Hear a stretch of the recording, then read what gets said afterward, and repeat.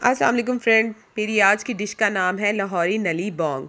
इसके लिए हमें जिन चीज़ों की ज़रूरत है, सबसे पहले गोश्त हमने लिया है तकरीबन एक किलो और नली के साथ।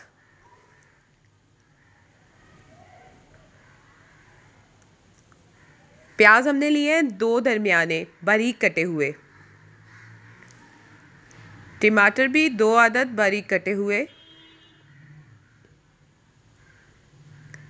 सुख सुरख मिर्च one and half teaspoon हल्दी पाउडर हाफ़ टी स्पून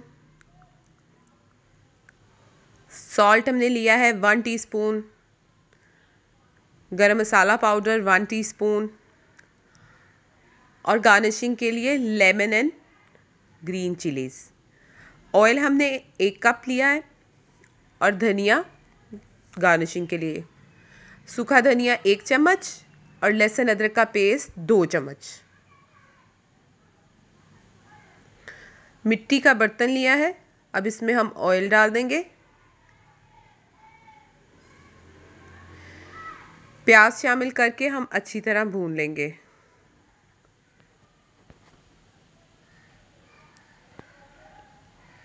अब इसमें हम गोश्त शामिल करके, गोश्त का पानी खुश कर लेंगे।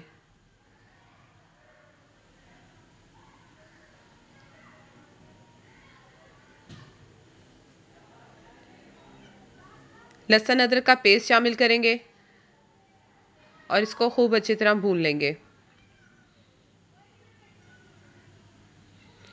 टमाटर शामिल करेंगे, नमक, सुरख मिर्च, हल्दी पाउडर और सूखा धनिया शामिल करके इसको भुनाई कर लेंगे।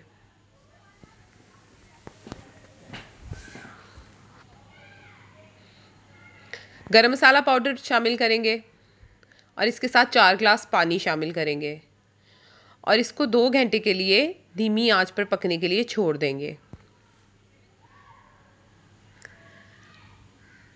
व्यूअर्स, अब हम इनको चेक करेंगे कि गोश्त की कंसिस्टेंसी कैसी है।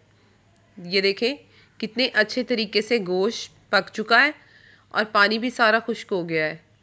अब मैं आपको दिखाती हूँ कि देखें, गोश्त कितना टेंडर हो चुका है। मिट्टी के बर्तन की वजह से और धीमी आग की वजह से गोश्त बहुत अच्छे तरीके से अंदर से गल चुका है। ये देखें।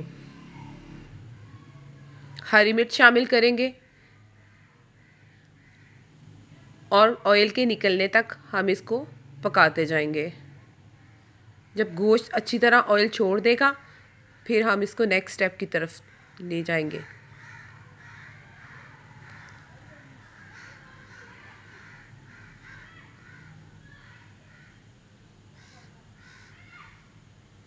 पानी शामिल करेंगे। तकरीबन तीन गिलास। और इसको अच्छी तरह पकने देंगे ताकि इसकी ग्रेवी बहुत अच्छी सी पक जाए, ये शोरबा बहुत अच्छा सा यकजान हो जाए। अब ये तैयार है, हम इसको किसी भी बर्तन में डिश आउट कर लेंगे।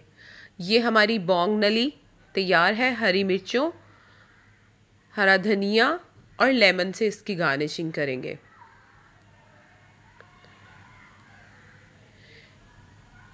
फ्रेंड्स, ये नली बोंग तैयार है।